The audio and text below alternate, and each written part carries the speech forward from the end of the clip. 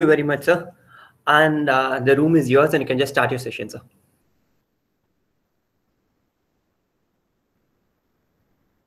Imran, sir?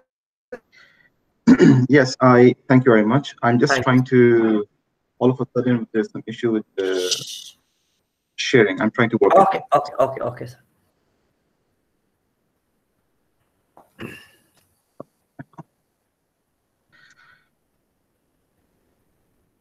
So I hope you're able to see my screen.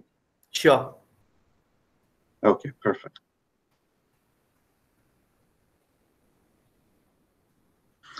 Okay, so uh, thank you very much. Uh, and I would like to really appreciate and thank uh, all the uh, organizers who uh, have this uh, such a comprehensive plan uh, over the whole week that I've seen. I have been, uh, I was mostly around on Monday, but uh, other days, given it was heavy pack load work for myself, I was trying to be in and out. So basically, I have to again thank all the organizers for inviting me for this session, and what a lovely program it has been and I think it's very beneficial for not only for the speakers, uh, you know, it's kind of a very good revival, but also who are already listening as audience. I'm sure they are benefiting hugely from this. So uh, in the next hour uh, and a half or so, or maybe a little less, uh, we are going to look into uh, some probably little trivial, but not necessarily very uh, clear in our mindsets, the way we'd want to go ahead with uh, our pathway to research careers uh, and what is the successful way uh, to do the same. So again, in this aspect, I'm going to look at my uh, personal experience as well, along when I'm presenting a few tips uh, in here. And uh, in this workshop or in this kind of presentation, it's very, very helpful if we establish a two-way type of communication. So uh, yes, I can keep talking, but that's not the whole objective. Obviously, it will be very nice. Uh, you're you can uh, unmute, and I hope that that is an option to unmute and just stop me at any point. And I think that will make the conversations more applicable, or let's say more of a learning in a two-way street for all of us. So I have given this workshop twice before. Uh, both the times it ran uh, over an hour in, in on an average, uh, let's say 60% of time me speaking and uh, another 40 minutes, 45 minutes of uh, Q&As uh, usually. So hopefully we can have such type of you know discussion and, and, and you know learning for both of from my side and from the audience side today as well. So again, myself, I am, uh, as already been shared, I am an assistant professor in University of Glasgow. Uh, in UK, I teach mostly around wireless communications, and that's my expertise in research aspect as well. And in our small research group over here, we work around within the domain of wireless communications, where we look into issues such as uh, or let's say we want to look in, uh, into spectral efficiency and uh, basically security efficiency of our wireless systems as they move in beyond 5G and towards 6G. Uh, and we look into these uh, aspects uh, and we try to employ free space optical technology as well within these within this domain. So I also mentioned over here that I have uh, I'm a past chair of IET Young Professionals Committee, which is Institution of Engineering and Technology. It's a global committee. And one of the reasons I mentioned here is because uh, last year, let's February 2020, just before the lockdown happened, we were in India, uh, actually in Bangalore, where we had a huge global event uh, all we had huge participation of young professionals, early careers, PhDs uh, from within India and even beyond. So that event was very, very successful. And just after that, we, we hit a lockdown. Uh, but yeah, that's uh, one of the reasons why I mentioned this because it had a link uh, with, uh, you know, our kind of talk that we're going to do today, towards the end especially. So uh, you have already, uh, we have been very generous to see my background uh, in this uh, early five minutes. So I'm not going to go into this repetition over here. It's exactly the same thing that we have seen. But I'm going to start our journey of discussion from masters onwards. I do assume most of uh, us over here in the audience uh, have, you know, we all are undergraduates at least, Uh, even if not, then this presentation will still give us some hint. But I'm assuming we all are masters and above level, and we are looking at how to, uh, you know, uh, pave our pathway uh, into research uh, directions. Be it you want to go uh, as a PhD, or you have already done PhD, you want to go into a postdoc. Even if you have done a postdoc, you purely want to focus as a, a faculty member a faculty member could be focusing uh, besides teaching on the research uh, intellectual part but there's also an equal chance that a faculty also wants to spend time uh, in research in the pedagogical direction, and that is also known as the scholarship uh, in teaching, in learning and teaching. So this is something, again, the reason why I'm explicitly mentioning this, because this is something that is taking up um, a huge, you know, uh, leap into our academic, uh, you know, domain. And I personally have seen uh, this or learned, let's say, this part very recently uh, since I have uh, joined UK uh, institution. And I myself have has de have delved in, inside this part and seen quite a good potential out there to to explore. So let me come back to our masters. You know, so when we when we go for our master's education, uh, again, this all discussions irrelevant of where we are doing it. Obviously, it has some sense to always look where where we want to go for these degrees or where we want to go for our education, uh, further education. But let's talk about this from a solely technical perspective. So when we talk about master's degree, it's kind of a niche or let's say a very small uh, edge uh, expertise that we're trying to gain over our generic type of education that we have uh, obtained uh, all throughout our undergraduate uh, learning. So as a master's, many people look at it as a pathway to simply pick up an edge uh, of, uh, you know, expertise or specialization and quickly jump into industry and set up their careers. Uh, and that is a very, very fair move. Uh, and within the industrial life, uh, again, this kind of uh, a master's degree might not allow, might not provide a lot of opportunities from research or, you know, R&D perspective but yes they do establish a career and they're able to uh, be successful with this edge of having a master's degree. But again uh, when we go into masters this is what we have to define early on. So we want to define our career target you know do do i really want to go into the industry right away and you know just uh, focus on my career over there and not come back to education? Or I, I do want to come back to education uh, so if, and there are many times, and maybe many of you who have or students who you supervise, you might realize that this is a big source of confusion for many students, even today. Uh, and what I try to tell, or what I try to suggest is, basically, if that if that is the level of confusion that one is not sure what they want to do next, again, it all depends on the opportunities, the economy, and everything. Uh, they all play a major, major role. So it's it's a fair confusion. There's no harm in that. Uh, so it's always good to keep our masters uh, in such a way that it is uh, uh applicable to continuing PhDs. What I mean by that is many times there are master's options that are basically or that that are basically purely based on uh, coursework and examinations, or maybe small projects, and that get completed within a year or maximum two years of time frame.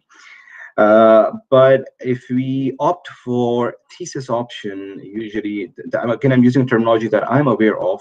Uh, so thesis option allows you to go into uh, six to 12 months of research activity. Now, this research activity might not necessarily be, be something novel or something new in that area uh, of, uh, you know, uh, or let's say that topic, but it does give a sense of what will go into research when they if if if and if they you know pursue a career into research direction. Now that allows them basically to reformulate or reproduce some existing publication or existing research outcome uh, in that short time frame I myself have done that more than a decade ago. I have many students who have been doing this with me. We try to uh, mentor them by picking up a very, very simple project or a very simple topic, uh, maybe a, a, a, re a, recent research publication or something of that sort, and they pick that up uh, and they try to learn through the theory, they try to learn through the basics and come up with the anal analysis themselves, try to go and learn the simulation environment, try to reproduce that environment into simulation, uh, and so on. So this journey of purely six to 12 months of focusing on a small reformulation of a research problem or re reproducing those results gives them the chance uh, or the flavor of what they can expect on a larger scale when they go for a PhD and beyond. So that is the kind of thing they, they should always define when at the master's level to make sure if they're if they're confused, then at least they go with this option. They don't lose much time, but they gain a lot of basic foundation that will really help them to continue in research direction, even if they decide to come back much later on. But at least having this foundation will help them to you know have that basic behind their minds. So to do that, again, the part of identifying a proper personnel or proper faculty member to supervise them for even that short duration is very, very challenging these days.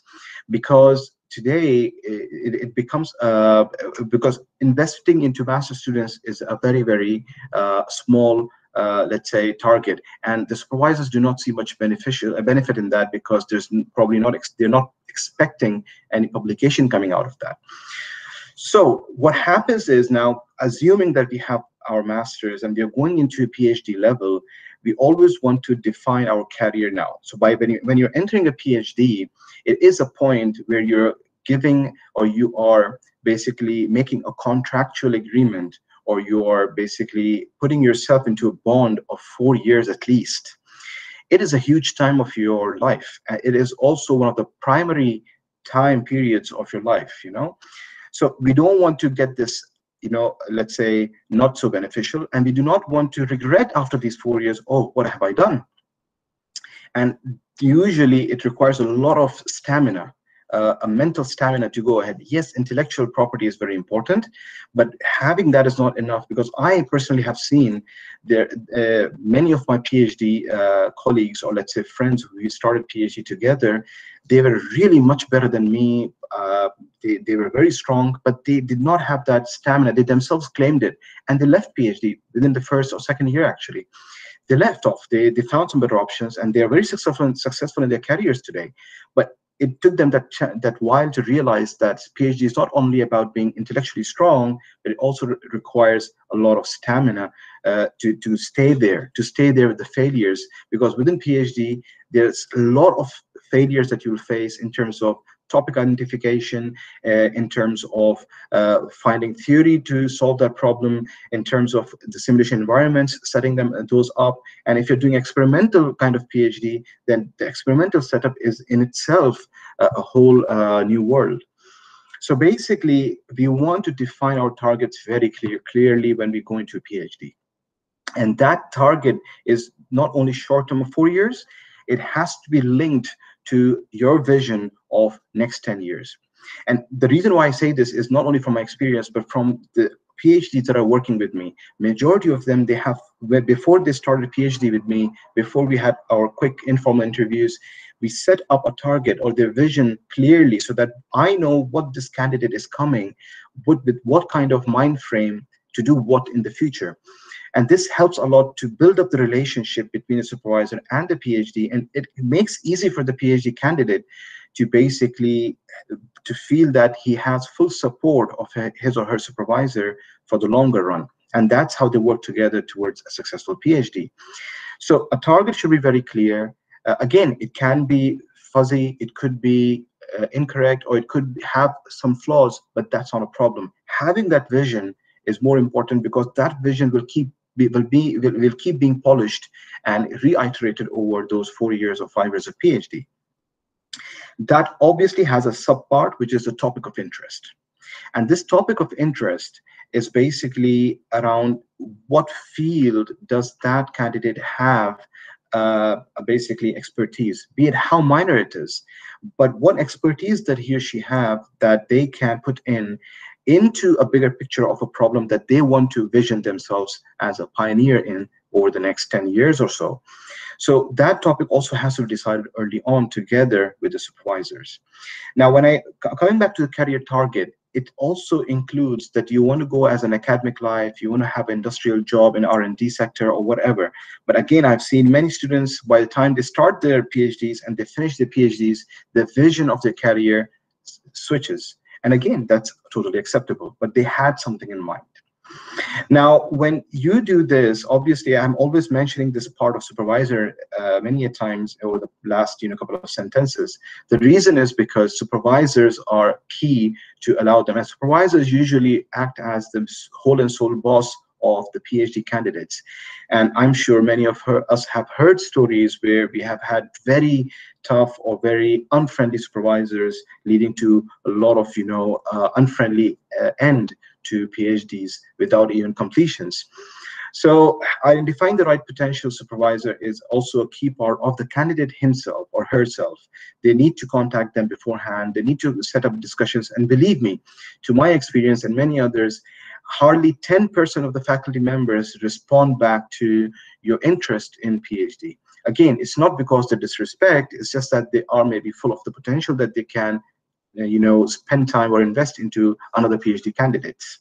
So it's our chance as a PhD, you know, seeking student to keep uh, approaching uh, potential supervisors again this should not be random. It should be based on again my vision that i have set up earlier on.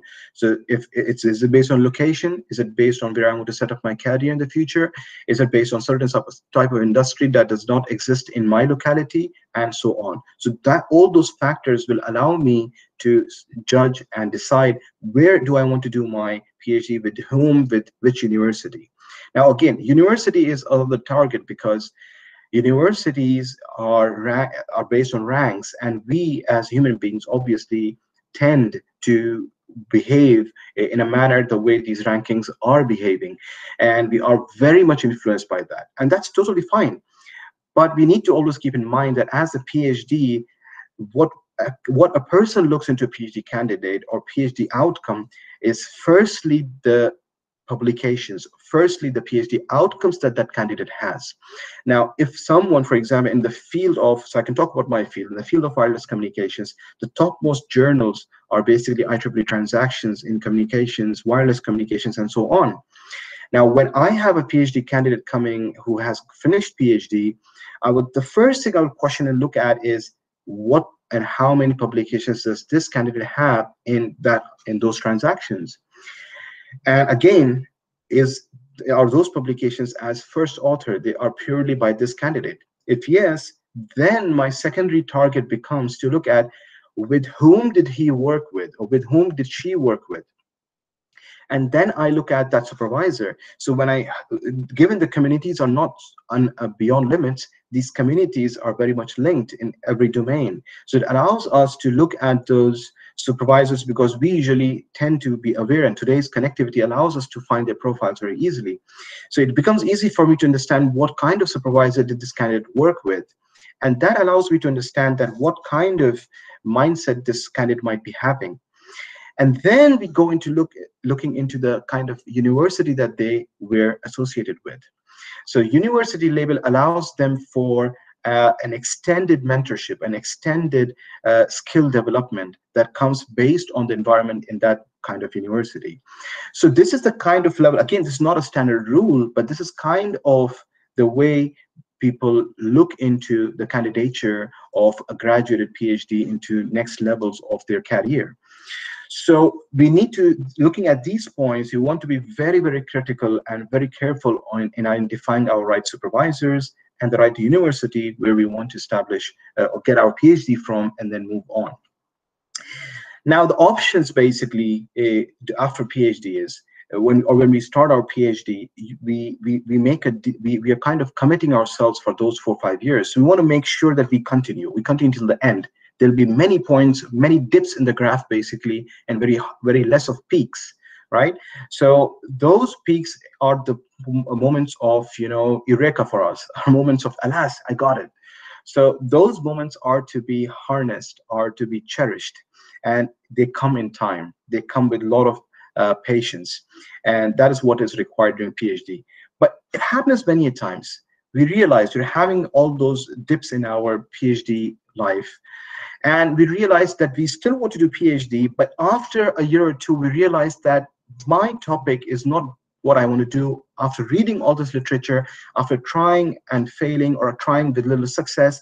I've done some things, but I realize now in back of my mind that I, I want another topic, probably in the same field in the same lab with the same supervisor. It's possible. I want to go with a different topic, and I'm sure this is my career now. And that's totally fine never shy away. Many people just say, you know what, I'm not sure if my supervisor will agree. I'm not sure if I can do that, and so on. There are a lot of reasons that we make behind our mind. But we have to remember that that is the point that is defining because if we just shy off of asking and discussing this chance in such an early stage of my career, then I'm actually putting the whole career on stake because of that. It's too early in my career to make such hard decisions that no, I don't want to change anymore. Because you have a huge career in front of you that you have to live, and you want to live that with content and not with regret. So it's always acceptable to go and talk to your supervisor or your funder and discuss with them that I appreciate what I've done, all the support that I've received, but I think now I have found my direction clearly now. I was in, in, in haze before maybe, but now I know what I want to do. And putting this discussion forward allows one to explore the opportunities. And many a times, a, very good understanding supervisors will, will be very happy to accommodate this. But again, it has to fit in the funding scheme that you are there. If one is self-funded, that's fine. One is funded by the government or by the nation, that's also fine. They can talk to them. But if they're funded by the supervisor himself or herself, then they need to retheme or reallocate the kind of funding that you have. But again, that's a headache of the supervisor. Let them, let him or her deal with it. You do not you don't have to worry about that. Your worry should be making sure that you get what makes more sense to your career and to your intellectual property. So discuss with it, discuss with the supervisors, and make sure that you attain or go into direction that you want to do. And that is totally acceptable. So once you have, let's assume now we are able to get out through our PhD, we are able to get through successfully through our type of, you know, uh, different uh, basically uh, topic discussions or what we want to do. Now within PhD, what we want to do now, let's come back to the topic definition or type of work. What can we face? We want to identify or invent a real life problem.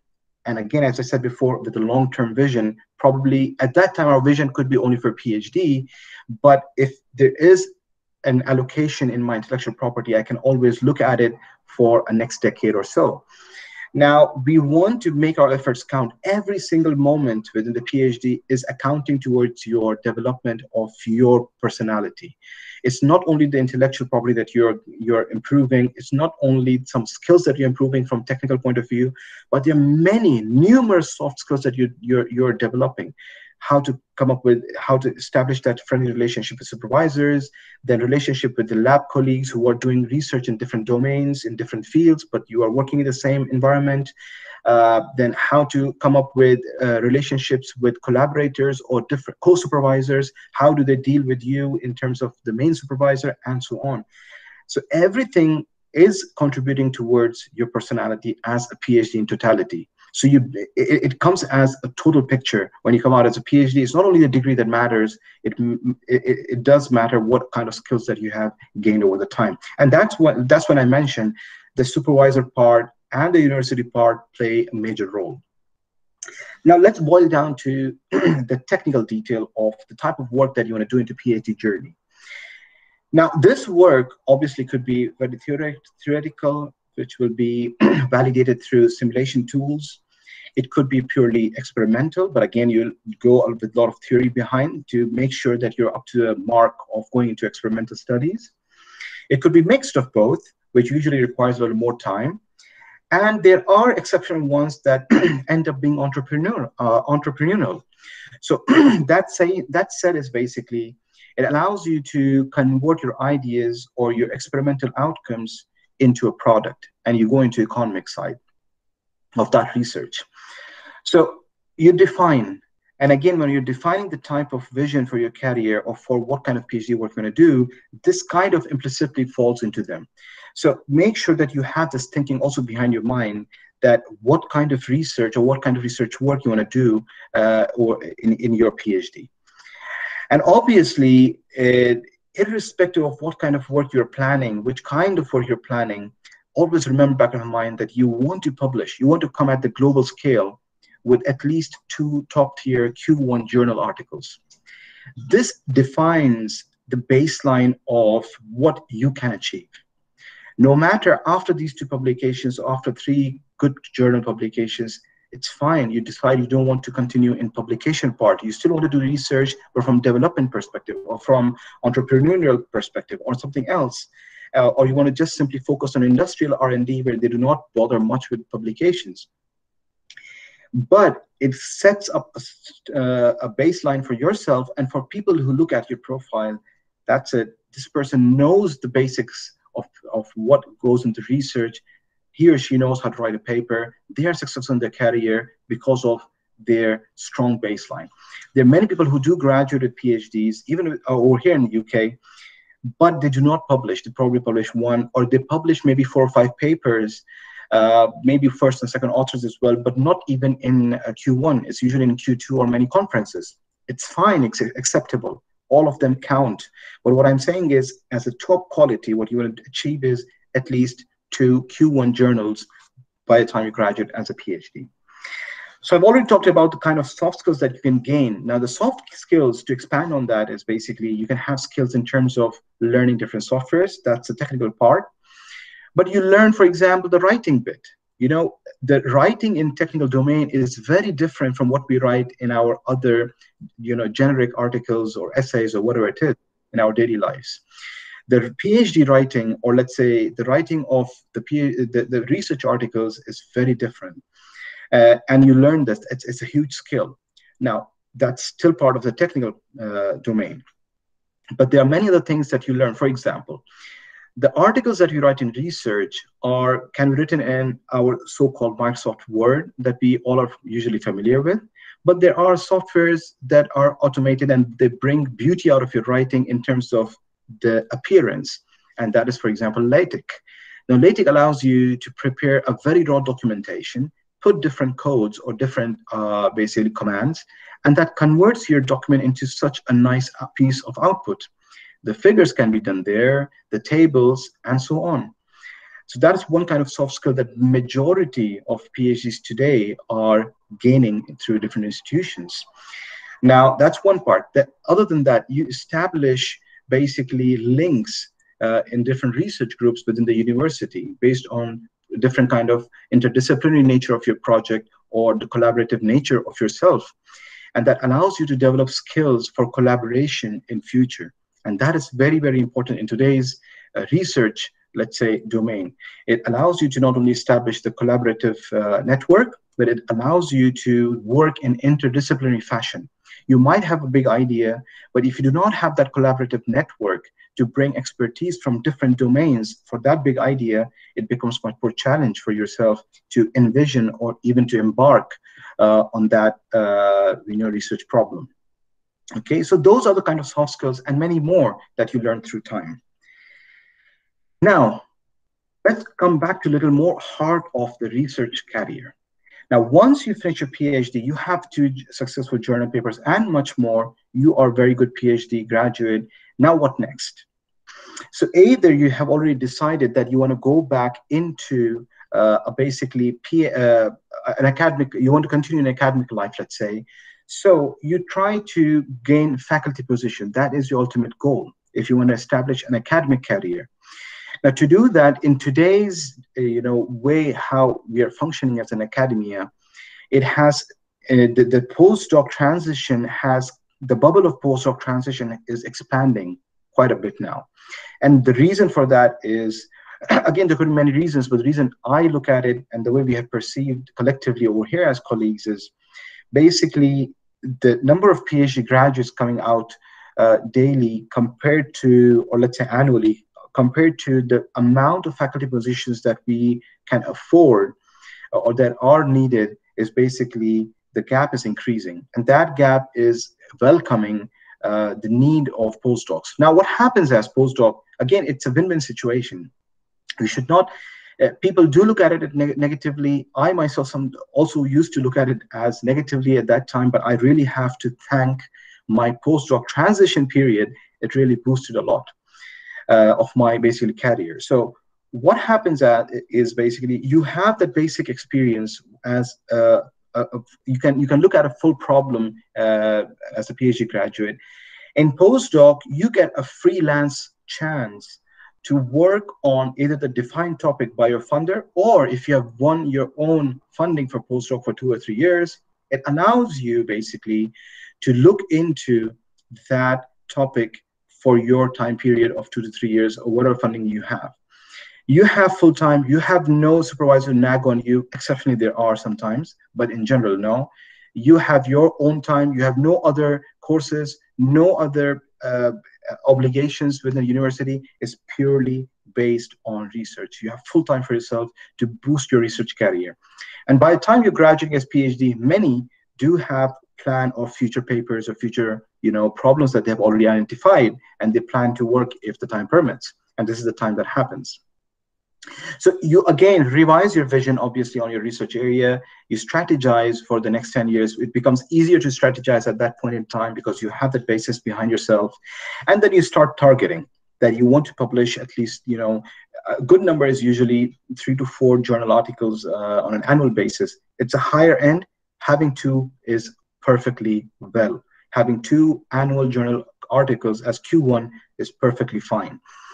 So you focus on research part but now, given that you have a vision to establish yourself as an academic faculty member, then you want to prepare yourself. This is a good chance for yourself. Instead of getting into academic position and then you realize that you have a lot of things to do and learn, it's better that you use this post postdoc transition period to learn those skills as well. What does that mean? So as an as a faculty member, you always want to have uh, funded, you know, funding with you. And to do that, you have to come up with successful proposals. And then you want to have a research group having your own postdocs and PhDs to support your research uh, ideas or research track. So to it's not sensible to wait all the way till you are into an, a faculty position. So why not prepare yourself at this point in time in, during the postdoc transition to come up with research proposals to the funding agencies where you are based in. And usually, most of the postdoc supervisors will allow this because at the end of the day, it benefits them. They will become co uh, PIs in those projects. They will help you. They will have expertise from their experience, which they will be able to share with you and fix it. So you get a groundwork to work on to become a very good proposal, you know, writer. so if you have those ideas, you could translate those into research proposals. Even if they're unsuccessful, you do not lose much because you are anyhow in a, in a transition period. You want to get into a permanent position soon or as a faculty position soon. But then it gives you a flavor of the positives and negatives while going through the process of preparing research proposals. This is a very key point, by the way. So no one should lose this chance. Another bit that I want to add here, which is not on the slide, is basically try to get a chance to teach during the postdoc. Many places, the postdocs do get a very small percentage of teaching assignment. That does happen, but it's kind of not so beneficial uh, compared to having a full course or at least half a course to teach and administer in terms of examinations, quizzes, and so on. So try to get a chance through your supervisor, through your department where you're based as a postdoc, to pursue a chance of teaching. And there is a high chance that you might be given a teaching assignment. It could be as a subsidiary to a main faculty member or a main course that's being taught maybe in early years, and that's fine. But then it gives you a chance, uh, it gives the postdoc a chance to establish that part into your basically in your profile. Because when you go and you start applying for faculty positions, the things that we want as a faculty is basically a, an acceptable research portfolio and obviously having some experience of teaching will give an edge compared to someone having no teaching experience. So use this postdoc transition to your benefit to bring that bit also into uh, your profile. And I have seen myself, uh, not only from my experience, but many others, who have purely focused on research part in postdoc compared to people who did equally well in postdoc in terms of research, maybe a little less, but that was above the par. But they were able to obtain this kind of teaching experience, and they were always at the edge to get a very a quick faculty position after their postdoc. On the other side, the people who kept on doing excellence in uh, in, in research, no, no, no, nothing wrong about it, but they again had to go for a second postdoc or an extended postdoc period to realize that they have to attain more before they go into a faculty position. So those are the kind of things that we want to primarily focus into our research part, but add these you know small add-ons as an academic career. But now, at this point, if you go into after PhD, if you think that no, you want to go to industrial R&D, there's no point in spending too much time as a postdoc. You can right away start applying, go into R&D sector of different industries, and see that's the right place for yourself. Many people during the postdoc, they try to establish more of their ideas that they had from before in two years, get some outcomes, translate that into economic value, and then they go into R&D of industry, and that's totally fine.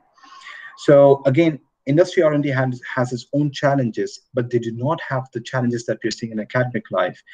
The, their kind of challenges are more purely based on business perspective. How does your approach of research uh, brings value to their company, to your business? And that's what they, they will try to gauge when they interview you. So having that kind of vision and explanation to your research uh, basically approach will give you a very good chance to get into industrial R&D. Now, coming back to the postdoc part itself, there are small bits and pieces that you want to do as well. That is, keep be, be active in the community by reviewing for journals. Uh, this allows you to look at or find out what is happening in different research groups, what are people targeting, and it gives you a sense of belonging and also gives you a sense of satisfaction that what you are doing is probably not so off the way, not off the novelty, or not off the, the need of the time. So this is the kind of things that help you to chip. Again, is not necessary, but it is just a matter of what you think as a sense of uh, belonging and satisfaction. Another bit which will directly relate to what you want to do as an academic life is to mentor PhD. Now, mentoring PhD is also equally applicable to industrial R&D because even in industry, uh, there are PhDs uh, who are funded by the different different companies uh, or the R&D institutions of different companies, and they have a mentor from the industrial side as well.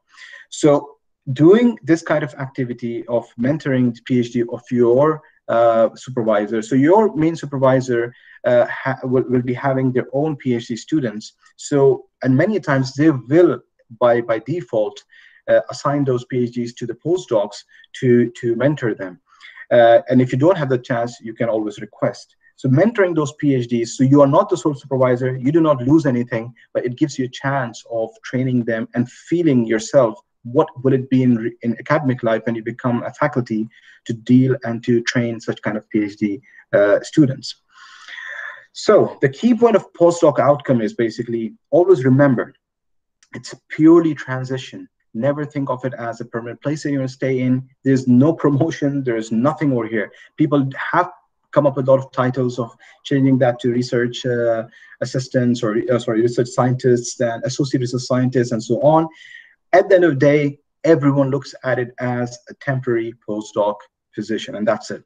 So don't get bogged down or don't get you know happy or fooled by. Uh, sorry for using that word, but in, in a fun way that that uh, oh, I'm have become a research scientist. Uh, again, I'm not saying research scientist in industrial life. No, that's very different. I'm talking about someone saying research scientist with a temporary contract just doing the research is not actually research scientist. Yes, there are academic labs where they give you long-term, five to 10 years of research scientist contracts. Those are actual research scientists, that's fine. But a research scientist saying for one year, two year is actually nothing but a postdoc in itself, okay? So make sure that you do not get so deceived away sometimes by these uh, lovely titles. Now, let's move into the industrial career. What happens if we decide to go into industry career as a PhD researcher? So you want to aim at research labs, right? There are many research labs in different industries. Uh, so you approach them, you find out what kind of job opportunities they have, and it, be- it becomes easier that if you know that this is what you want to do, then towards the end of PhD, even third year or fourth year of PhD, you can always try to explore uh, internship opportunities with uh, those R&D labs, and it's usually possible. Uh, you go and even if you go over there for uh, internship without any benefits that you want to expect from them just focusing for your development of your career so this is a good chance you go there you uh, you not only understand the environment of working in industrial research lab you look at real life problems that are converted into business value that are converted into happiness of the customers of the people so you look at that yourself primarily. And that allows you to feel your research getting converted or coming to the ground into real life. And then that gives you further motivation, further push of doing the, the you know your research the way you're doing in a much better way. So again, as I said, it's the industry is the mainstream economic contributor, and that does give you that flavor. But again, there's another benefit of this. If you have a vision of becoming an entrepreneur, you want to convert your research outcome into an economic value, then getting this internship will allow you to understand what happens behind the scenes from that perspective.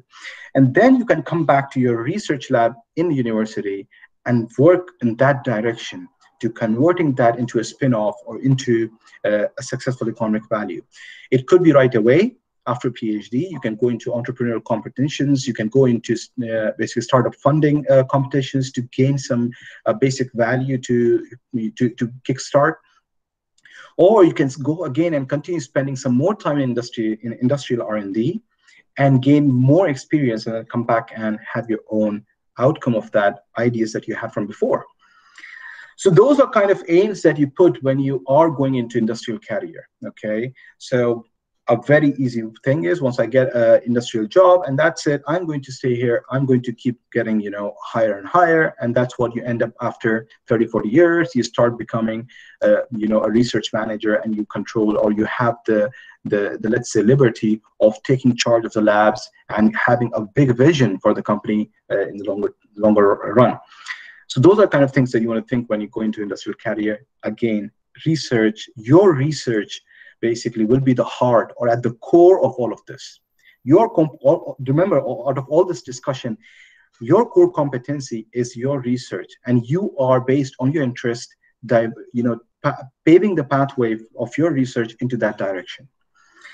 Now, what you do as when you're in industry or you have your own companies, what you want to do is, or you want to be known uh, for, are the patents that you have. That's one of the primary things. So you keep filing your patents, you keep securing your even a very small novelties that you have in the form of patents. And that's why usually industry industry does not focus on publication side. They mostly focus on this kind of behavior of uh, securing uh, or filing the patents of their ideas. And this is the value, this translates into the value of that company or that industry. So there are academic partnerships that you also want to focus on because as an industry today in this fast moving world with the fast moving research in mostly all directions academic research labs equally play a very very huge role. Now although the academic r&ds do not envision their research outcomes the way industry does but still they have those longer and unseen kind of you know visions and probably many times some some sort of unrealistic ones as well but industry does benefit from that because industry, although they have the vision for 10, 20 years ahead down the line, but they'll convert that into business value always, always. So the failures are also convert, converted into business values, but they always get these inspirations as well from the academic research labs, because in academic research labs, the researcher is not confined by the business value the, the blue the sky is blue for them. They look at whatever and they think whatever they they, they feel they can or it should be done. So this link together with industrial r&d and the academic research labs is always beneficial. Now the beneficial is not only from the vision perspective but it's also from at tiny bits and pieces that is having collaborative phds collaborative postdoc positions uh, and also for the academic uh, faculty member, if they establish this kind of link with industrial R&D, it allows them to have a more, uh, let's say, stable and more technically strong uh, profile because they have this link with industry, they have this relationship, and when they talk, they talk from both academic sense and the industrial sense. So this totality of expression of a research idea or research outcome gives a very very strong opinion and the audience respects that more has more value because of that link okay? So we want to establish this. And the other benefit for this is uh, in the longer run and i'll talk about this in the next coming slides. So when you do this obviously as an industrial employee in an r&d career you start becoming a global leader because from industrial perspective when you talk about things that you are doing from business value and you bring this uh, view from academic research labs then that you talk about more realistic that what's happening from let's say young minds and how we can pick those visions that we probably didn't think of and see its business value and bring those into industrial research labs. And this happens a lot, actually. Uh, we have seen over here as well. So, for example, myself, I was fortunate uh, two years back when I, I, was having discussions with Toshiba uh, lab over here. We, we started a discussion of a very simple problem on mobile edge computing although that's not my field directly and i was upfront that look this is not my field but i have some expertise from performance point of view which i want to connect with edge computing part and see what we can do together and they all all you know right away they welcomed the idea they had discussions and they were right away happy to provide me a full funded phd studentship so it was a huge thing for me i never even expected so having this quick discussion, initiating the discussion with basic idea, and them having a response. They said, yes, we are working on, we have a full lab on uh, edge computing uh, recently. We, we are trying to focus on that part. And what you are mentioning as an idea can definitely be very, very good for us. And that's it. So we were able to come up with that, you know, use that funding to come uh, to have a PhD student who was 50% being mentored by the industry directly. So this student gets a chance to stay in the industrial environment half the time. So they are working in real-time ideas over there. They're working with their R&D lab directly, and this is getting them uh, this benefit of when they graduate, they can, if they feel happy and they want to, they can continue directly in that lab. So, and I get benefit of uh, mentoring the student from my expertise, combine the ideas together, but also it gives me obviously the publications and the expertise that this student is bringing from the industrial lab, which I might not be able to invest the time in going multiple times to the Toshiba lab. So these are the kind of things that benefit when you go into industrial career to establish as well. And I, I already mentioned what benefit me uh, from this kind of link uh, as an academic person. So that's uh, let, let's let's stop ourselves from industrial part from that point. and the reason I want to stop that because again, I am not into an industry R&D to that depth, but this is the basic depth that I have from my experience. But what I want to focus now next is research into as an early career faculty member, right? And this is my primary domain in what I have been spending my all last decade and more. So as an early career faculty, or, or let's say before I do that, if, if there is any question that you want to take on, I'll be happy to uh, answer that. Okay, so I do see a question, uh, or yeah, what is the process of literature review? Should we summarize uh, an article or just take the related lines and paraphrasing those uh, and put them in our paper? Uh, this is a very, very nice uh, question, uh, Ms. Farhana. So basically, literature review is, there's no one plus one equal to two solution to that. But there's a generic way how we do our uh, literature review. And what I suggest is always, uh, even to students who are not having the idea or the problem that they want to go ahead with, what is it that they want to do? Then I say, okay, since I will take the lead in a way to give them a broader picture of what I am good at, because I can't supervise a student in a field that is not close to me or I'm, i have no experience in. So what I do is I give them a basic survey paper and a basic theoretical paper, at least two to three uh, in two or three different topics that I am good at because I'm comfortable in that. And I say, okay, read these, summarize this to me first, and understand what is out of there. Based on their presentation on the summaries of that, it allows me to understand how much are they able to understand the literature review part. So now, having that understanding, I'm able to translate that and you know guide them what they should do next for literature review and what topic is suiting them more in which direction. Now, coming back to the question, as you mentioned, for literature review, literature review is, yes, it does uh, involve reading and understanding more than 100 papers. That's totally true. But the way you do that is basically the first step, given, again, it all depends on what kind of time frame that you have for yourself. But usually it's much better depending, again, that's let's that you have enough time in your hand. It's always good to look at the abstracts and conclusions of transaction papers at the first stage, because those are the top quality papers in that field. That will give you the idea of what they envision in the abstract for that 10 pages or 12 pages of work and how they have concluded with what kind of results. When you do that for maybe 30, 40 papers in a go, you'll realize you'll start making a mind map for yourself that what kind of work they're trying to envision in that direction or the recent, again, the target should be looking at the recently published papers first. So that will give you an vision. And then you select the papers that you'll go in depth. And then when you go into the depth, you start reading with the problem formulation parts. And in the problem formulation part, you start to extract those problems that they have looked into those top quality papers first. And then you again go into a subset where you find out which are the problems that interest that interest you more, and you go into basically looking at their, their solutions, their experimental results, and so on. So this process gives you not only confidence, but gives you a allows you to imagine a map behind your, you know, back of your mind to to to to understand how to go ahead.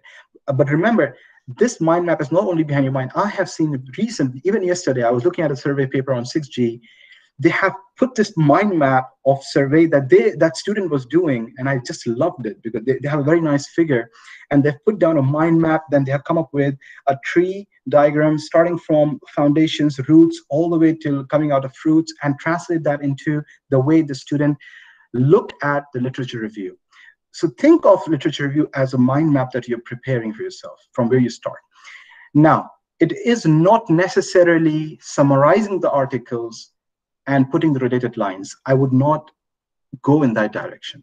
What I would suggest is you do summarize for yourself.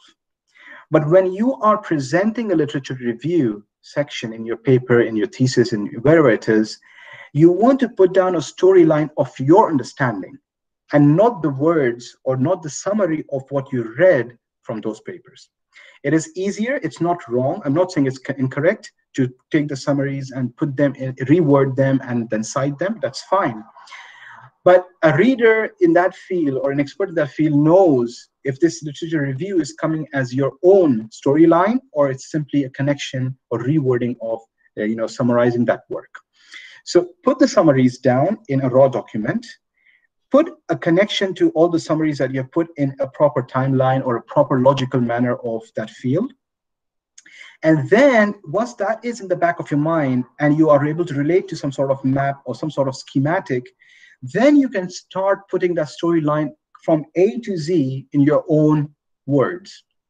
And this will actually be a pure literature review that will still be the information from the published papers. You will still be citing in appropriate places that from where you are putting these statements in your own words.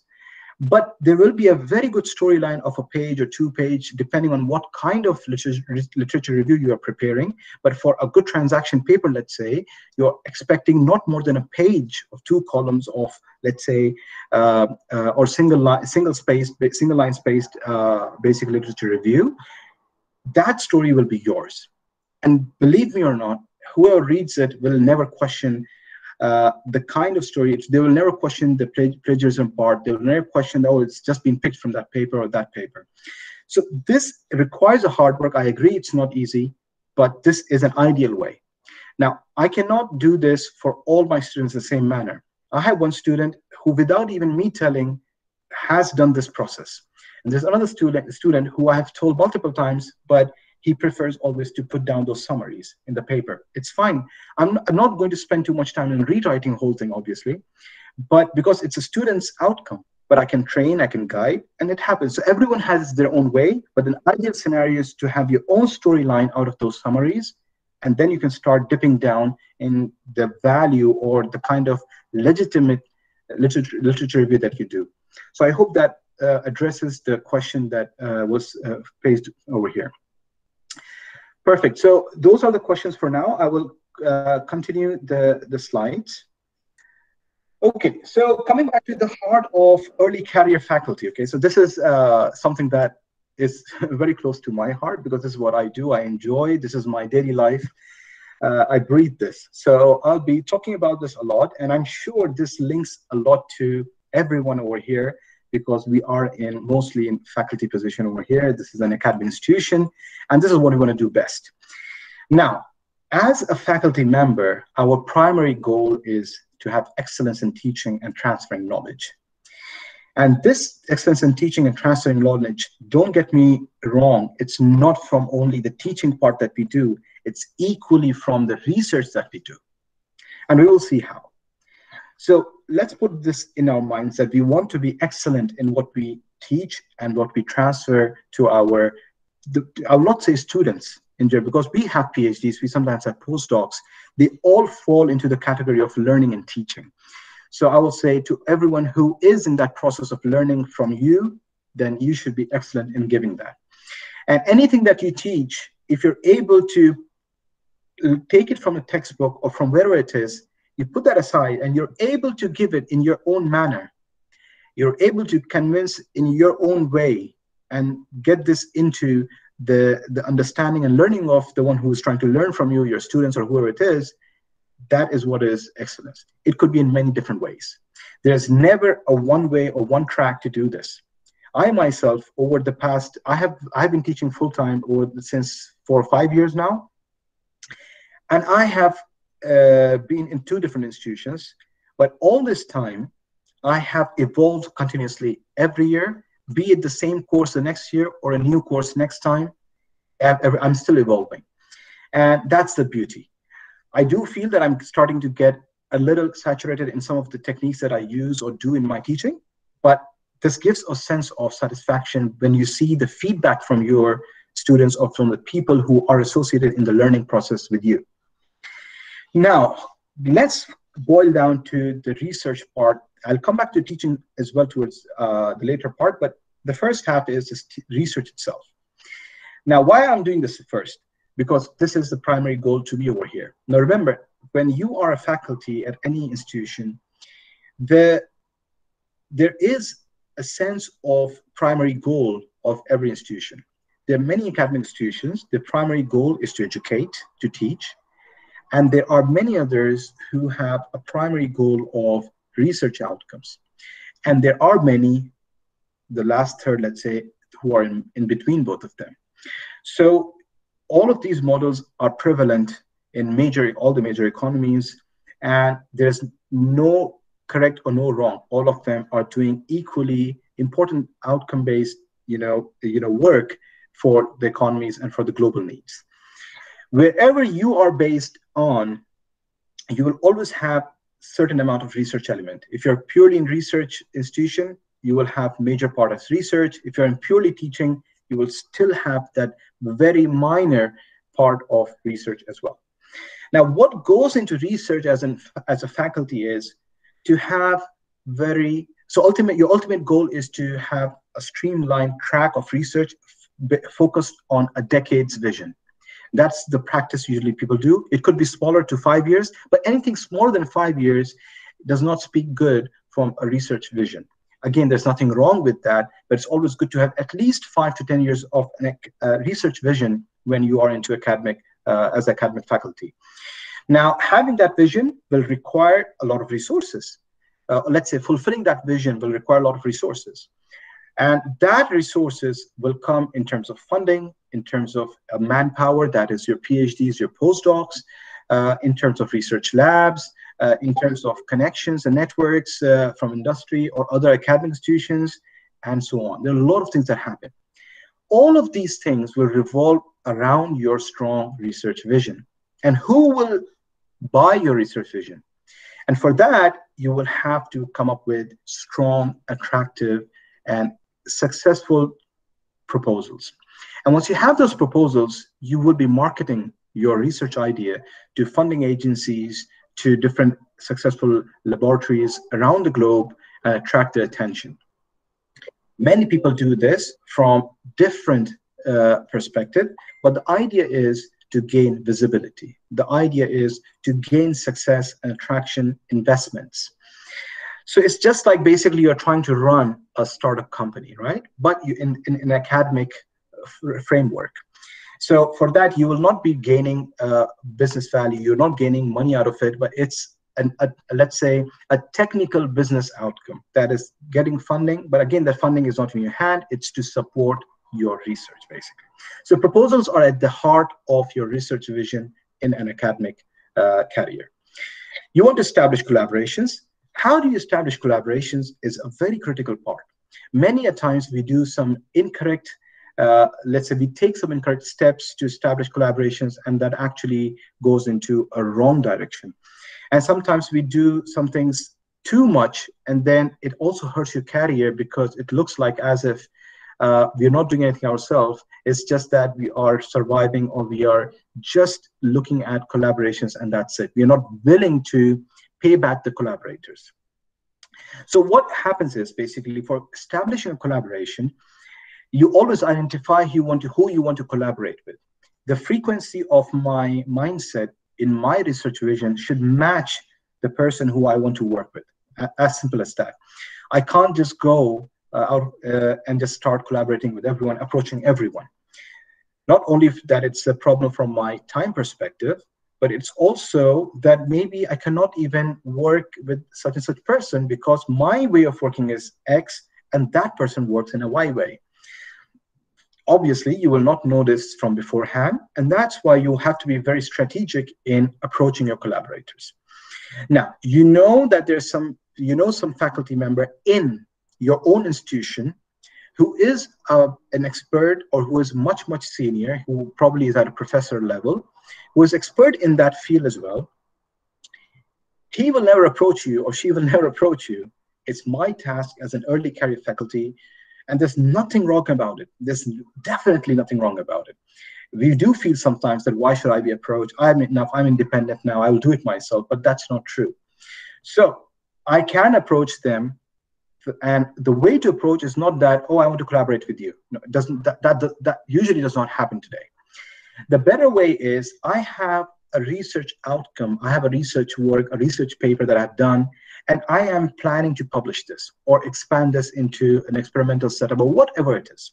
I'm at a certain point in my research work. So what i do with that is i approach the senior expert. Now this could be a professor in my own institution. This could be a faculty member at other academic institution. It could be in, the same uh, country, or it could be a faculty in different, globally anywhere, or it could also be an industrial expert. Now, irrelevant whoever it is, the way of proceeding will be kind of similar. That you have a well-defined, currently invest, under investigation problem with some results in hand.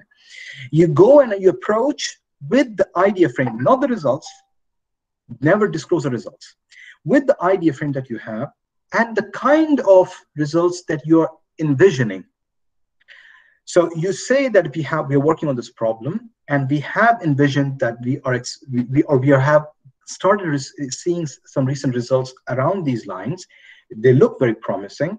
There will be a breakthrough in X, Y, or Z things, no matter how small it is but if this will be translated into uh, into economic value or for industry or an academic or a, a top tier publication for academic uh, faculty member when you put down this kind of objective what kind of results you're expecting and what will happen with these results, you're putting down a very three quick points to that person.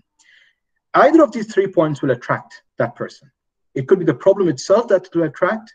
If not the problem, then the results might attract. If not the results, the, the, the, the least possible thing is that the outcome of putting these results into publication will definitely attract someone. There's no harm in for them as well to accept this because it's not for free.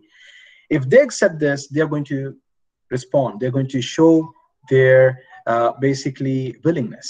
And when they do that, they're going to start pouring in their feedback into what has been done, into sharing their own uh, experience into what can be done next.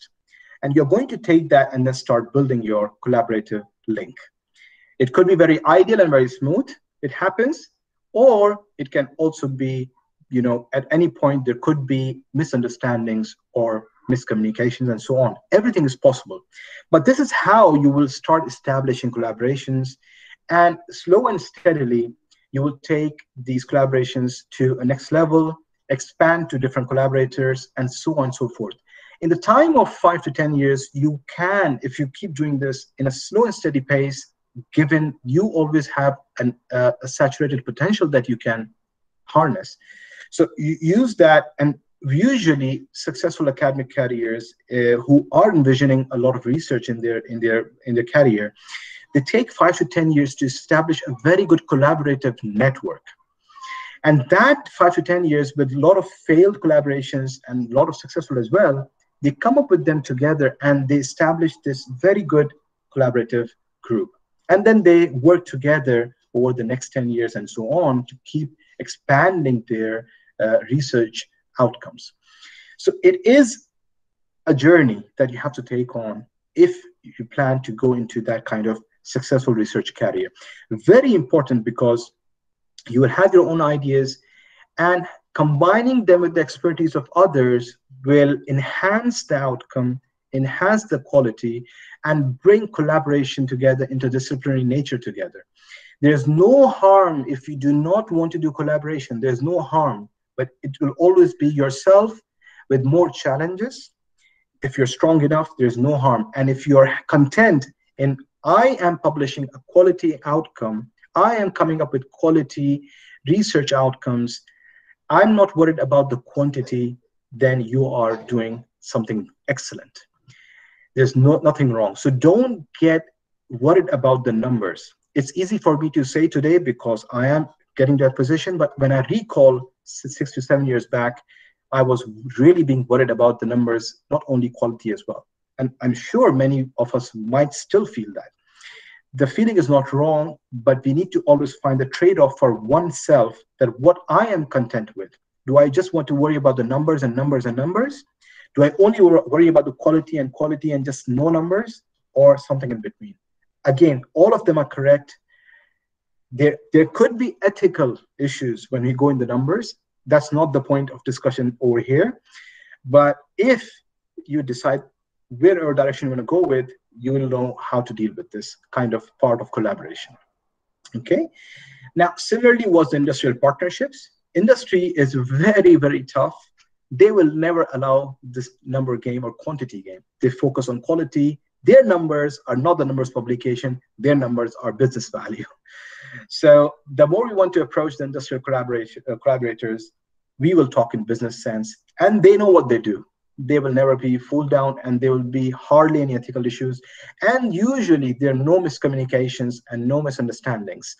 Uh, usually there is always a small percentage that's possible but in majority times industry is very very clean from the academic collaborator perspective because they do everything in writing there are contracts to be signed and they follow that so once you have the idea of collaboration you, either you do or not do that's one's choice uh, it's one's choice you're going to extend your research network with industry or not. But what next is to attract funding with the proposals. Now, all these three first points as proposal, collaborations, industrial partnerships will attract funding.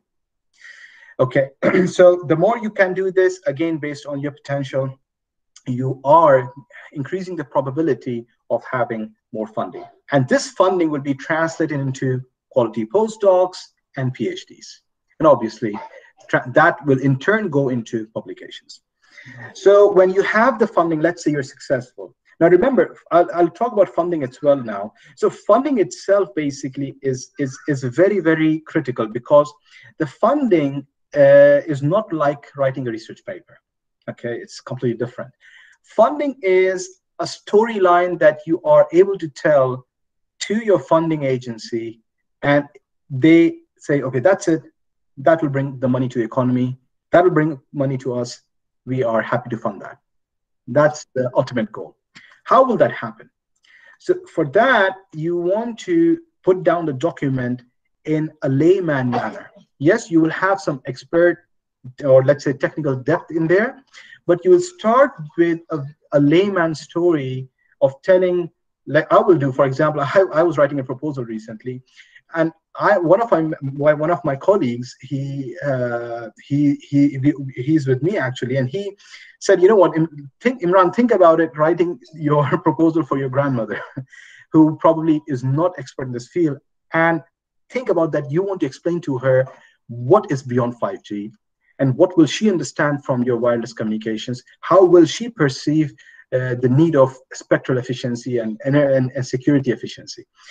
And that probably sounds lame, but it's not because when you start writing, after having that expertise or the experience of so much uh, research papers and the research writing, you go back to a layman writing in the research proposal, it becomes tough to stop yourself uh, again and again from going into the the technical terms or technical depth. And that's another skill that takes some time. And that's why, if you recall, we did mention that when you're in postdoc, try to spend some time to get this experience of proposal writing. So this is what we want to do. In funding, we want to make sure we're able to sell our idea. It's, you don't have results at that time. You might have some preliminary results, but that, that will not be this whole and soul selling point.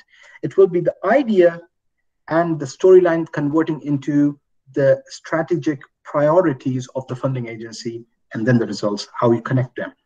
A storyline of six to 10 or whatever is the requirement of the funding agency pages will translate that. And if they are feeling successful, you get the funding, right? Again, there could be a lot of discussion into funding itself. There's another workshop that we can do on full funding, how to attract uh, funding, how to attract the industrial collaborators for funding part, how to do uh, convincing presentations for funding. That's a huge story in itself, a huge learning in itself.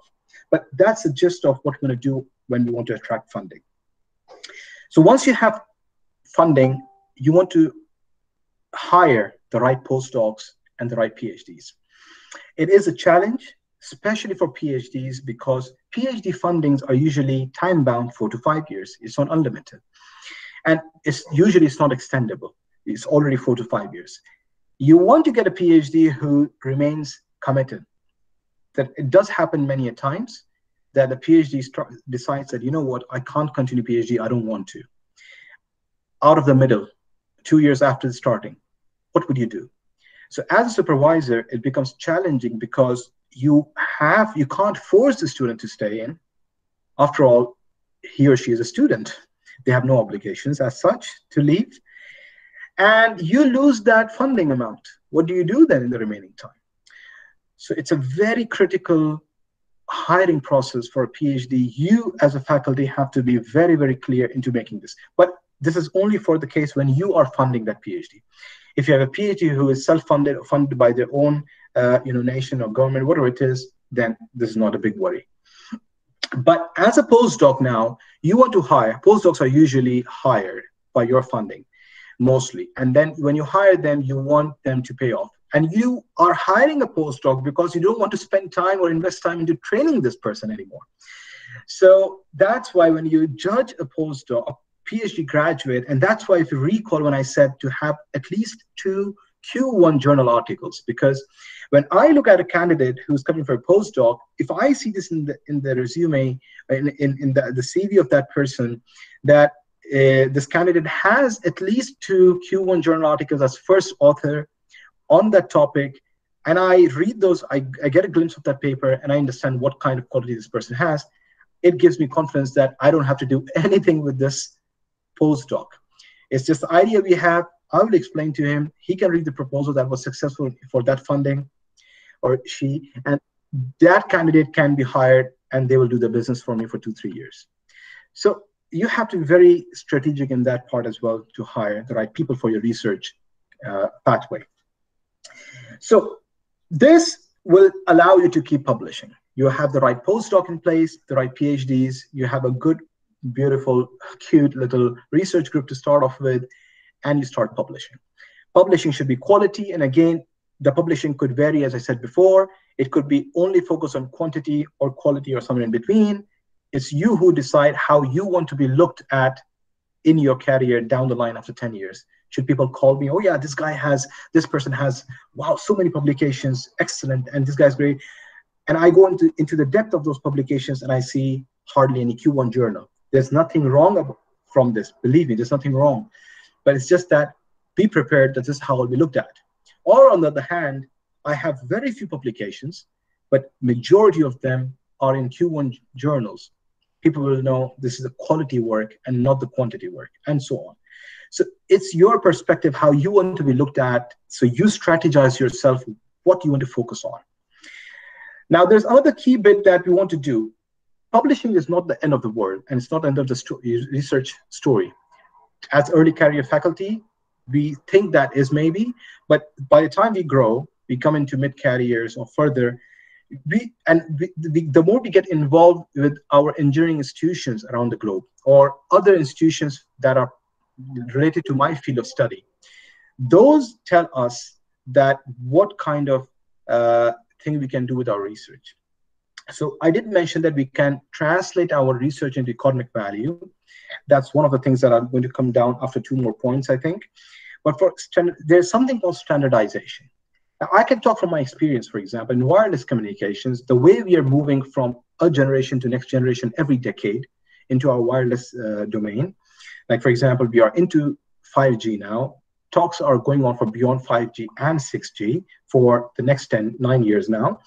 So, what, how we translate that? The 5G brings in a lot of standards. Why do we need standards again? Is because so that we can have a more, uh, let's say, uh, freedom of connectivity in the sense of uh, common ground. So everyone will use the same standards that have been agreed at the higher level. Uh, and then so that no matter wherever we go, we are using the same standards. We don't have to change our devices or change our baseline, uh, you know, technical uh, implementations. So we want to translate our research outcomes into standards. So for us, for myself, being associated with IEEE, uh, which is the institution uh, that I am associated with in my field of study, we have standardization uh, basically track.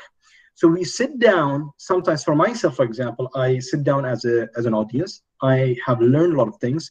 And there was only one standard committee that I was able to contribute uh, indirectly. That was the Visible Light Communications. And that was even three or four years ago. So I realized it's not the, the even at that time I realized that publication is actually a very small bit to actually convert that into a standard that will be used by people in real life. So that's a vision that we want to have. I want to translate all those Q1 publications into a standard. And that's where my value will come. So if I vision the standard, then that's the kind of research I will try to focus on. And that's the kind of results of quality I will try to envision from my postdocs and PhDs. So that's the standardization practice that I want to also go with. Now, there is always a small bit of filing patents. Obviously, that is done more heavily from industrial perspective. But even as an academic person, if you do not have an industrial collaborator for that particular result or for that particular outcome of research, and you feel this has a very good copyright value or very good uh, investment value, then you might want to patent that. Uh, filing patents is good in academic life, again, but it does not actually hold, again, to my experience, I might be wrong to some extent, but over here, filing patents as an academic faculty is not desired. It's not something that is looked at very important. So our job is to come up with the outcomes and get linked with industry and get it patented through industry. And we want to work in that interdisciplinary fashion in the logical manner. But again, it, it depends how it's looked at different institutions. Different nations have different perspective of patents. Many places industrial R&D is not probably that active, but there are some academic research labs collaborating with uh, international industrial labs, and they are able to file the patents, uh, be it US patents or anywhere else. Uh, ma major economies have their own patenting, uh, you know, basically uh, directions as well, which can also be pursued with no problem. Now, the key point that we want to talk about again quickly before closing the research part and going to teaching is the spin-offs. We do feel sometimes our research outcomes are extra quality, then can we convert that into a small spin-off and put that company out? And probably that spin-off in a year, two or three or five years time might shape its way be it a small business, be it into a small entrepreneur market, that's fine, but it can be then acquired by a bigger company. And that, given that I want to still be a mainstream faculty member, then this could be a way of envisioning my idea getting translated into economic value. And again, there's no harm in that. There's something very good because you create business for yourself. What what happens? What's the benefit of this is basically you can come up with this small entre- enterprise basically. And this gets associated as a small business to your academic lab. So you as a person by the time you are in mid-career you are not only an established researcher you not only have your research lab or research group with postdocs and phds but you have been able to out of all this hard work of 10 20 years you probably came up with an outcome that was translated into economic value, which gets associated and remains as a small company. You don't, you're not, you're not saying that it has to be a global leading uh, mainstream business, but a small business that is known globally because it has a very niche outcome of your research. And that becomes a spin-off and gets connected to your lab. So you as a researcher become not only an academic success, but also uh, a kind of business success. And also this gives a feel of industrial R&D. So then when you have this industrial or let's say as business perspective to your research lab as a research outcome, this becomes the source of more uh, quick connections with industrial R&Ds all throughout. And then you, you grow very fast. So your company or your small business remains intact as it is, but it becomes a source to expand your research domain with more manpower, more funding, and more success stories. Again, this falls into what kind of research strategy one is thinking for themselves. So spin-off is another way. There are, oh, so not many do this, but there are exceptionally few who do this. Many fail as well. There's no harm. You, you should be strategic enough that it should not affect your career as a mainstream faculty, but you can always pursue this if you have that vision. Finally, into research, uh, which I wanted to focus is the teaching side. I'm leaving off the last sub-bullet point pedagogy, which I'll link with the other point towards that. Uh, so I hope that is clear from research perspective. Uh, and if there are questions, I'll take them together. I think I'll just complete the, the teaching part as well, and then we can go into those discussions together. Now, as a faculty, you look after senior design projects or capstone projects or final, whatever label you give them, but those are the final projects in the final year of the degree program, uh, undergrad, undergraduate degree programs. So as a faculty, you it's your strategic uh, vision that you look at the potential of the students that are working with you on those projects. And if, if you're able to find the potential you are you have as as a mentor as a faculty you can always discuss out of the project line discuss with that student and tap that potential to not only maybe your benefit even if not your benefit at least the benefit of the research community in your domain. And this should be done again very cleverly. And the example for this i can give you for me at least for now. And the reason i mention this is because of my current uh, so i have six uh, final year project students this time and I'm actually the coordinator for the whole final year project program uh, in our degree program, which has 420 some students this year. Six are working with me directly. Out of those six, one has been exceptional. She finished the project in half the time And then I said, it's up to you. You have done a project. You can, you will definitely score a very high grade in this. There's no problem. But she said, no, no, no, no. I want to work on something more. I had a research problem that I was working on with one PhD student, and then I expanded that problem and included her. And she's doing a great job. Then I saw that she can do much more, and then I started giving her more directions to explore, and she has started preparing a PhD proposal right away. That is, she doesn't want to do masters. She and she is eligible, to my experience and to my knowledge. Besides some basic coursework, in terms of research, she can jump into PhD directly with me. And I wouldn't mind hiring her directly as PhD if she agrees that she wants to.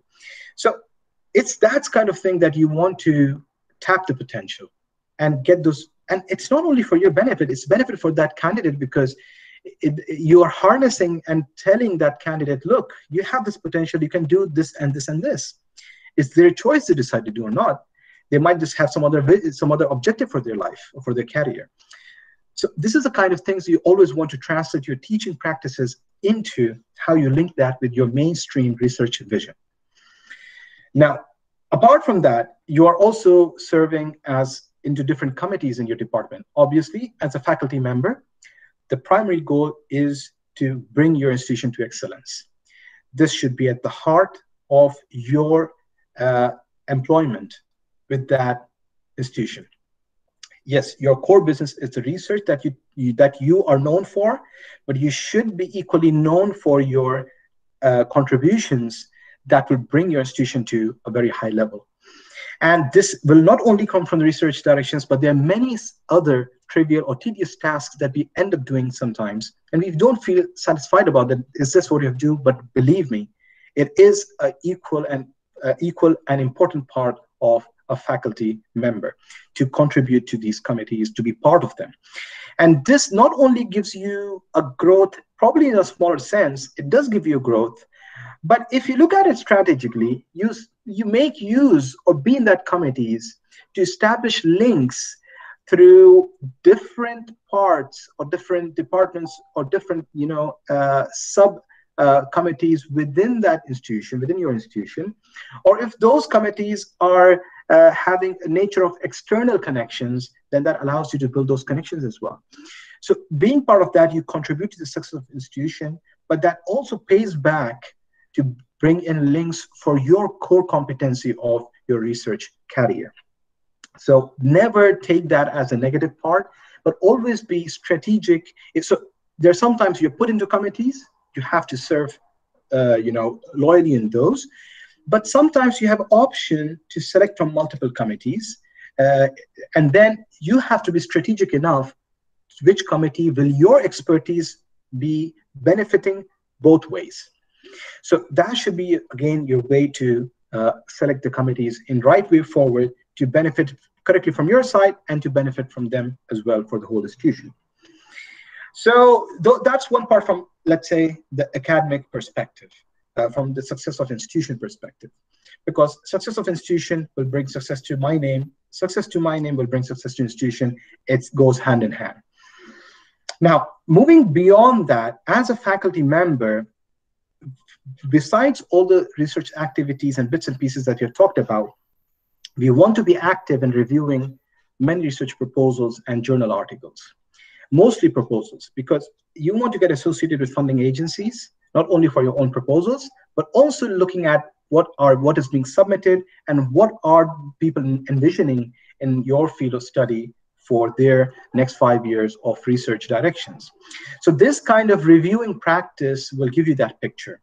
And it will give you a fair chance to evaluate as well and become part of the global uh, national and the global community for the one who is setting the trend or setting the, the, the, the stone for what should be and how should be uh, the research done in those directions. There are other bits and pieces that is participating in technical program committees, in workshops, in tutorials, in different conferences, and so on. Uh, this could be from technical perspective, that is publishing your research work, presenting them, basically quote unquote, selling your ideas, selling your results, attracting people to your research. But it can also be from teaching perspective. For example, what we are doing in this session right now is a session. It's kind of a learning session uh, from teaching perspective, from career perspective. Uh, we can't say this is not beneficial to me. For me, it's very beneficial because I am reviving what I should do in my daily life, which I enjoy, but I'm getting chance to meet you all and anyone who might be interested in discussing research careers or research topics or teaching topics, probably that's something that we both will benefit. So every all these bits and pieces will bring value to oneself and to the other selves. And then there is a bit of esteem. And as I said, this is kind of linked with uh, the other phrase that I used before that my success will bring success to the institution, in success to institution will bring success to me. So I want to make sure my activities bring esteem to my institution, not only to myself. So I will take the name of my university everywhere. Like I talk to you today, but I belong today to University of Glasgow. That's my affiliation. So this goes back to the University of Glasgow. I can claim that this is what I've done, and this will be linked to their profile ultimately. So I'm trying to bring esteem to my institution collectively, and this should be a part of my faculty career. And obviously, all these things will link to my promotion chart. Every institution have their own promotion criterias. You want to link to them. You want to link how much of research contribution is actually part of it. Many times we tend to, because we love to, so we tend to do a lot of research, but probably the promotion criteria, it's not a requirement to do so much research. And when it goes under review, they say, what about the other bits? What about de departmental contribution? What about your workshops? Have you organized any uh, special issue in, in, in, in, a, journal? And we don't know, we, we have not done those. We, because we kept doing what we're enjoying more, which is not wrong. But given if I want to get promoted, I lost the chance because, or I lost that potential that I could have balanced in the right manner. Meaning, I should be doing uh, research in the right balance and also contributing to other bits and pieces that are part of my uh, basically uh, position where I am. So those are the things that we want to look at as, as a faculty. One final thing before we move away from this is a pedagogy or scholarship on teaching, learning and teaching. This is something which is relatively new for me as an experience. And I have been, uh, I mean, let's say, fortunately successful to publish uh, one journal article and two uh, Q1 conference publications in this field. And I have also was successful last year to receive a very small funding, very small, but it's not so much of value, but it just gives a sense of feeling that what I am teaching, I'm translating that into a global value or a global best practice by through publication. And that small funding allowed me to hire a very, uh, let's say, a, a teaching assistant for a very short term to do some analysis for my teaching feedback and for a new uh, kind of uh, marking uh, best practice that I created for my department over here to do some kind of basic analysis for that. So what I'm trying to say here is many times our technical research is something that we do good in PhD, maybe at postdoc, and then we realize, you know what, maybe I don't want to do that. And maybe it's too much for me. I want to just relax. I want to have a simple faculty life teach, be excellent in that, and that's totally fine. But maybe you have that potential which we, we don't realize is to translate our best teaching habits, be it projects, be it the quizzes, examinations, assessments, feedbacks, PowerPoints, teaching methods, using videos or interactive tools, whatever it is. All of this can be translated into a formal manner as a scholarship. So this practice will become a scholarship and you can publish as a pedagogical research.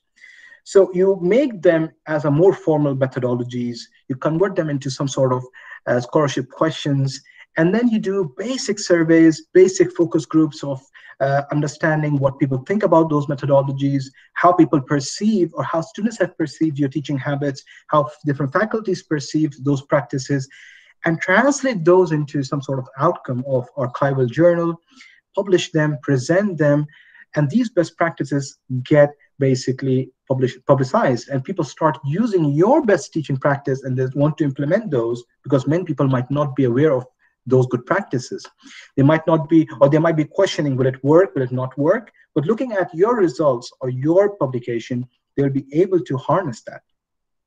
So yesterday itself, we had invited one uh, from Khalifa University in, in UAE. So he, uh, he, he teaches basically embedded processors and he taught, he, he gave a new perspective of teaching from last year, he changed his, and not only because of COVID, but apart from COVID, he changed his teaching style of uh, with the motivation that look, there's a huge literature, huge teaching material on YouTube now for almost every other subject, in, especially in undergraduate first, second levels. So he said, I have started picking up those expert videos, lectures that probably I might not be able to teach in that fashion. It's not that I don't have knowledge, but if they are much better being perceived by students, then why not I give them that glimpse in the lecture? And I support that with some examples and tutorials or real life, uh, uh, basically, uh, uh problem solutions. So in that way, students learn from those videos which they were directed to in their own time. And the class time was more used into interactive manner. The other bit that he talked about was using the virtual learning environment and in, in, you know putting down all the quizzes of coding the, the processors uh, in there and ensuring that all of them are taking part and then he did a uh, an analysis at the end of how many students uh, took part in that quiz in the first week and how many delayed them. And then he made a mechanism of giving the marks differently with the agreement of, of obviously of the students and the department from beforehand. And he did the scoring in that way. He got a very good uh, basically grade uh, graph for the class. So what i'm saying here is you're translating your best practices into more formal way and that will bring value to yourself as a pedagogical researcher as an excellent teacher as an excellent faculty member. And this will obviously bring name to the institution as well. Now one of the things that we did for example was uh, translating our assessment feedback mechanism uh, by, especially because of COVID, we came up with a virtual learning environment online examination, which had randomized uh, questions, and we had a permutation uh, formula for that. And we had basically a timed examination, equally timed as, or maybe five minutes more than the sitting examination, physical examination.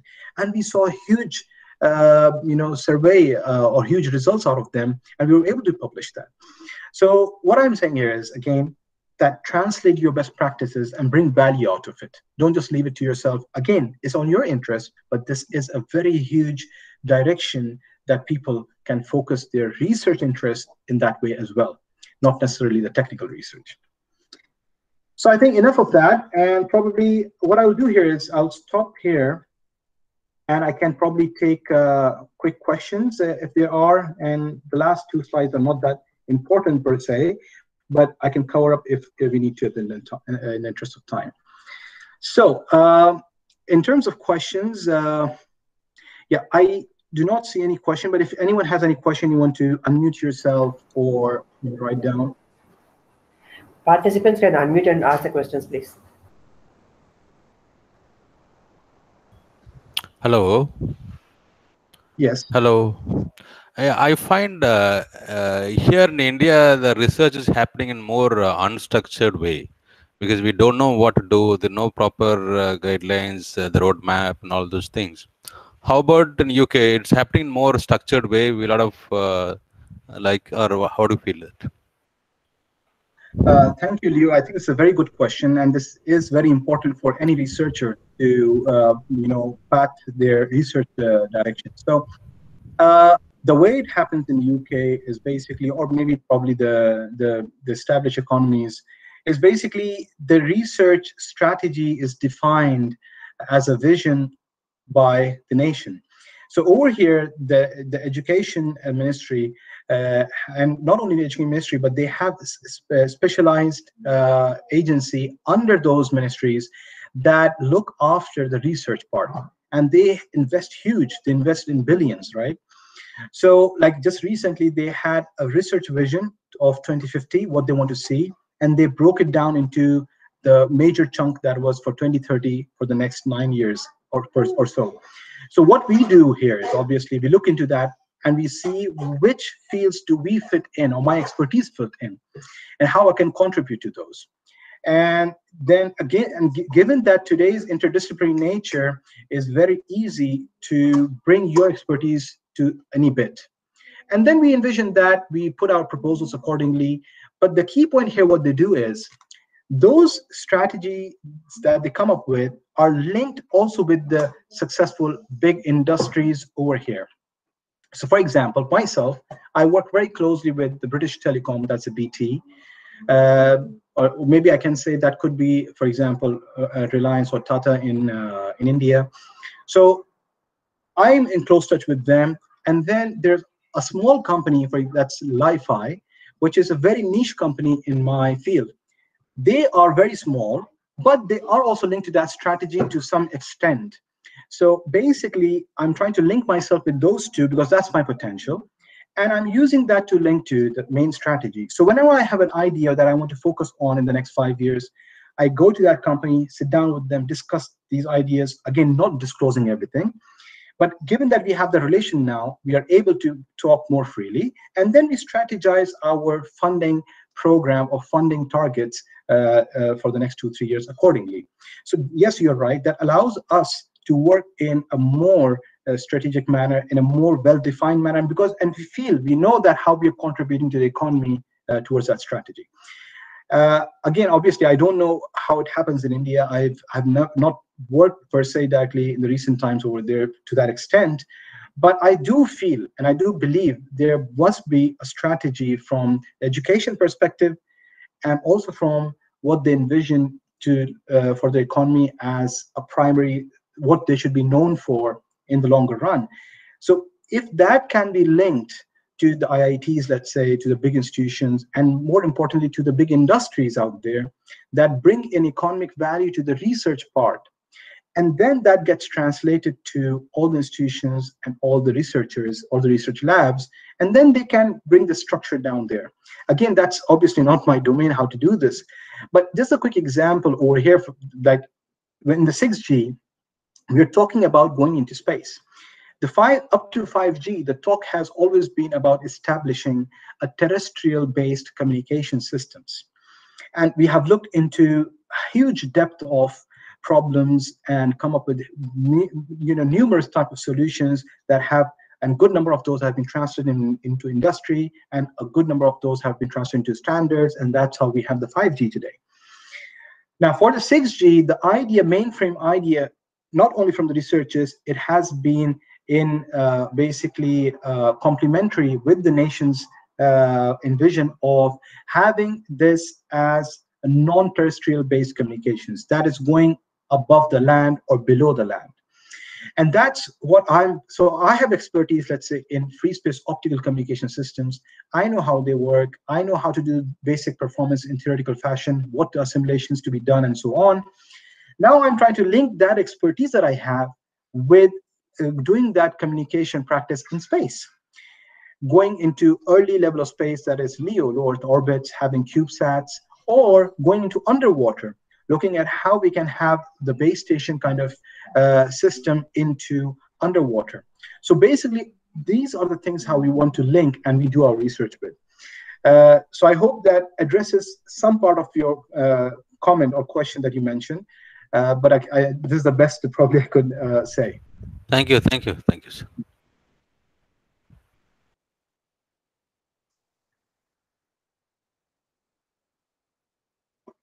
Okay, so if uh, there's no further, then what I can do is probably I can. Uh, yes, one second, sir. Any, any, any, more questions, please, participants? I have one last question. Uh, yes. Sir, uh, in India, people get funds from the government agencies and uh, they do the projects but uh, eventually there's no use of the projects after completion of the projects i find there's no utility of the projects because once they finish their work then they're gone that's all it's simply lying idle for uh, lakhs of rupees investment the government money simply they know continuity of how to utilize the outside world that is not happening in india how about that sir this is this is a very good uh, concern that you've raised. Uh, so I, I, I kind of agree with that. It happens sometimes over here, as well. but again, over here they are they have a, a good vision in place. So as I mentioned, when I'm working with BT, uh, they keep a track of what I'm doing, But after two years of project, if they realize that what I have done is nothing that is beneficial, they will just leave it. Although I might have very good quality publication, the results might be promising to me, but if BT doesn't think that it is beneficial, then they will just leave it. So it will lie around. But this is very less. Given that we work with them collaboratively, uh, this allows us the results get translated into value. At least it goes into testing phase. At least it goes somewhere. That's a different story that it, it does not become part of standards because obviously not all the research go. It's very small percentage that, that that gets translated into real life. Now, what I what I see is basically in India again with such a huge you know economy and such a, a huge potential of growth. Uh, I feel and I believe in this that there should be successful industries that should become or that should come at the heart of research, and they should become uh, an interface between the funding, as you mentioned, the funding agencies and the people who are working, so that this will allow for a more streamlined, real practical research uh, happening for a more better value. Uh, probably that will help and make life uh, more better in terms of research perspective. Uh, I'm not sure what else can be done, but that is more of uh, a corporate side that they should take interest in to make this happen instead of just focusing on plug and play, picking technology from outside. Thank you, sir. Thank you. Thank you. Yeah, uh, very good afternoon. Thank you uh, for a wonderful session. And I uh, can we have a email ID of yours, please, so that uh, as a potential collaborator, yes, thank you. Yes, no problem. Uh, yeah, I, I, was putting, I had it in my last slide. So anyhow, uh, if is there any other further question before I uh, do a quick conclusion to uh, the discussions that we have had? Okay, okay. So I will continue with uh, what I had with me over here. So basically, uh, another thing that I mentioned briefly about the standardizations is the role that you play with uh, your organizations in your field. So myself, I have been associated as a student member with IEEE. The fees was almost negligible, so I said, I don't lose much. Let's go ahead and get an idea. And slowly, when I grew, I not only got chance to contribute to the institutions these generic institutions of our community from young professionals perspective and also from uh, nominations and appointments perspective, which I'm part of recently, this allows me to get a global picture of what different experts are willing to do in their life. I, I, I see nominations from professors, from uh, CEOs who want to be part of the institution at, at high levels. So this tells me that they are heavily involved in translating their work from their companies and from their research labs and academic uh, institutions via IEEE or via their institution, home institution that brings them together. So this is a very good, again, it's not necessary, but this brings value to esteem part of your faculty career. And also this allows you to extend your collaborative net network. Again, it depends on the time. The similar thing that I have done with IET, that's Institution of Engineering and Technology, in different formats, and also I got a chance to be judge uh, in these innovation uh, awards, which were done by PhDs and early careers, and also early career and from industries. So last year I was uh, judging such innovative solutions for different categories. It, it is amazing to see what's happening, and this allows you to link your research work in your lab to bring some more innovation from those ideas. And I have seen, by the way, from one of the winners of this innovation award uh, in 2019, they presented their award, the winning presentation, and they got a startup funding right away. So this tells that how being involved in these, even your students or yourself uh, as part of these, will allow you enormous amount of opportunities that you might not even think of. So again, the, the, only reason I mention this is that there's always these smaller bits as well that you can add to your profiles that will that can chip in a lot of opportunities for yourself. So I think uh, in the interest of time, uh, I'll just uh, say that this is my pathway, what I, I think I've already mentioned as well. Uh, from 6G perspective, uh, my expertise lie in channel modeling. We look at performance uh, analysis, my main, you know, work over the past decade has been around free space optical communication systems, looking at how laser beams and LEDs can be used, or those frequencies can be used for wireless communication perspective. And we're talking about uh, wavelengths of 750 nanometers, uh, 1550 nanometers, and so on. And the other bit that I started looking into last four or five years from my postdoc onwards was physical layer security. So as I said, I look at spectrum efficiency that is using higher frequencies for communications, and then also security efficiency, which is a primary thing as we move into our uh, wireless uh, technologies. So those two have been my primary goals. A lot of publications, uh, fortunately, have been there, and I have to thank all my collaborators, all my students, and uh, you know, one visiting postdoc for all this lovely work and supporting these ideas. Recently, over the last year, as I said, we are moving into the next generation. Uh, we are looking into uh, this is a very initial project that I started looking into with one of my uh, postdoc collaborator uh, from uh, in terms of reconfigurable intelligent surfaces or also in other way known as intelligent reflective surfaces. We're trying to look into these surfaces, how we can maximize not only the rate, but also how we can secure our communications by using the, their different properties. Uh, but this is a stand, it's not a standalone solution, but it is basically a chip in to improve our systems. But more importantly, as we go non-terrestrial, we want to explore what we can do with CubeSats. The future is there. OneWeb is, is launching hundreds of satellites. The Earth above us, that is the atmosphere around 200 kilometers above us, will be filled with satellites, hundreds of satellites all around the globe, providing seamless connectivity, hopefully. So we want to see how we can chip in, how we can bring our expertise from our research lab, from free space optical point of view, from security efficiency point of view to that part. So we are doing that. And I have one new student, actually I should not say new, but he's, he's in second year, who wanted to work with me, but he wanted to work in cyber resilience, although I don't have expertise in that, but he wants to. So I'm guiding to whatever I can to my best, and he is trying his best. So that's also possible in academic careers that you can welcome uh, such students who want to do something which they are envisioning for their success. And there's no harm in that. So with that, I thank you for all the patient hearing and bearing with me talking so much. But I hope that did justice to uh, myself and more importantly to all who were listening to me. And this helps uh, all of us in our careers to at least some extent. So that's me. Uh, my contact details are as well over here on the slide. And uh, any final thoughts or comments are always welcome. I'll be happy to address them. But from my side, I have to wholeheartedly thank you all uh, for being over here, and more importantly, the organizers uh, for having me uh, here with some value to share today. So thank you very much. Thank you so much. Sir. Thank you so much for sharing all your details. And uh, participants, any more questions? Just one. So if there is no Uh, question, yeah. Uh, Yeah, just sure, one. sir. Mr. Praveen. Yeah, sure, sure. Yeah, can we apply machine learning modeling in uh, wireless communication domain? Very good question. Yes. So yes, we can. Uh, I personally, I'm not a big fan of. Again, I'm not demeaning, but I'm not a very big fan of machine learning. Oh, yeah. Uh, but I, yeah, but I am uh, focusing on uh, having one student, uh, hopefully in, uh, next year, uh, who is willing to do machine learning in free space optical communications. He has prepared a proposal, so I am probably uh, trying to uh, increase my interest in that direction. But the quick answer is yes, it is possible.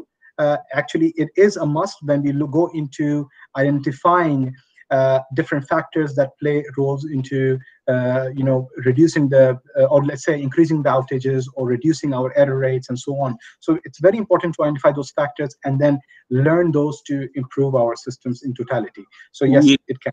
Yeah, thank you. And uh, this is for this may help in optimization uh, of our of our efforts. That's definitely correct. Yes.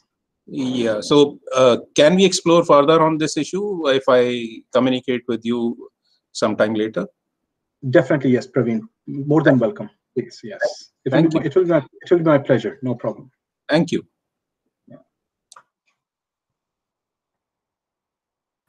So can we end up the session and for the lunch and like, uh, can we just continue the next session at two o'clock, participants? Okay. Yeah. Thank you, Imran. sir. Thank you very much, sir. I'll just share your video uh, to your mail ID as, as soon as possible, sir. Perfect. No and the problem. Thank feedback you from. much. Thanks Thank for sharing everything. Thank you so much, sir. Thank you. Thanks for spending your wonderful Bye-bye. time. Thank you.